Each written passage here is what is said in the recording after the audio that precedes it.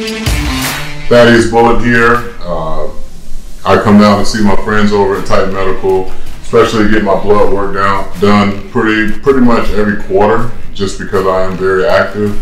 And uh, obviously, with the pandemic, you you want to try to make sure you optimize every single uh, level of um, of your of your blood cells and your blood count as you possibly can. And for me, obviously, I still live a very busy lifestyle, whether it be going on speaking engagements or doing things with WWE.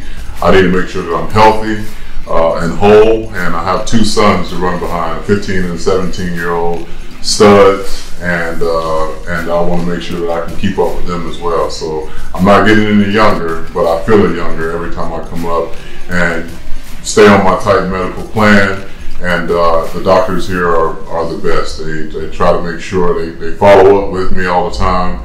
They uh, they give me little sporadic phone uh, text messages to say, hey, I'm just checking in on you, seeing how you're doing.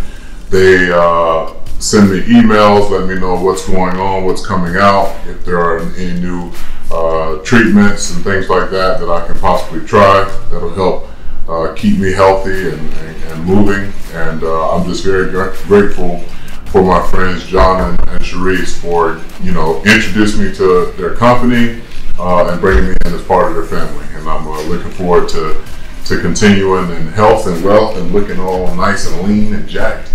Uh, but I can't do any of that unless I know my blood level. So that's the reason for us doing uh, drawing blood today.